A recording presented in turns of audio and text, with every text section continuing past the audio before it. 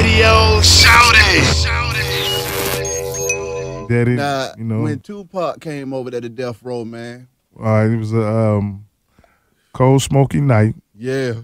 I got a call from Suge Knight. Meet me at Monty's restaurant. I'm like, what's up? He said, you got some beats? I'm like, yeah. He said, yeah, Tupac coming in tonight. And I'm like, whoa, True Down ain't got that money. so I'm going to take this beat on over here. So we went to the studio and we dropped Ambitionz Az a Ridah. And we dropped I Ain't Mad at You.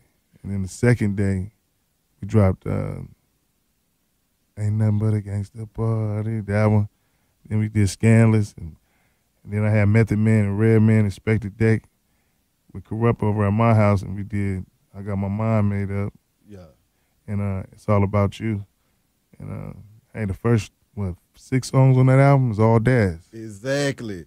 I mean, because that sound that you was bringing in there, I mean, it was tremendous. Yeah, okay, Dr. it was tremendous. I mean, them songs that you just named are still getting played to And I'm day. still getting paid to this Come day. on now, come You on. What goes through your mind when that man came in there? He ripped out them songs that fast. You know, I told him when he first came, I said, "Don't let this gang bang get between us." Uh. Because I, you know, I'm already knowing what's going on with Death Row Records. You know what I'm saying? And they looking for a mascot because we ain't the mascot. We the Dogg Pound. Yeah. we Crip. You know what I'm saying? And Tupac was hanging with you know Thug Life at first. You know, it was all Crip. Yeah. But then he came to be all Bloods with you know Death Row, and then you know, and then he, he used to tell me, "I'm gonna give you a jewel that's gonna last you for the rest of your life." You know, I used to wonder what the jewel is. You know what I'm saying?